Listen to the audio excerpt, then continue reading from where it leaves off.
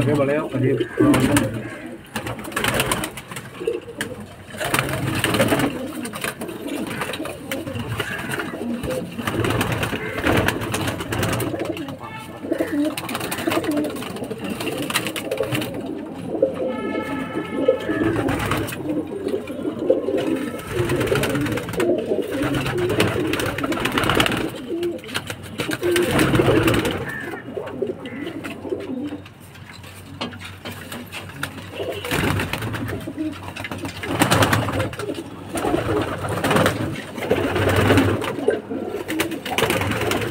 शायद दो मिनट की बन जाए कोई दिक्कत नहीं है बना दो।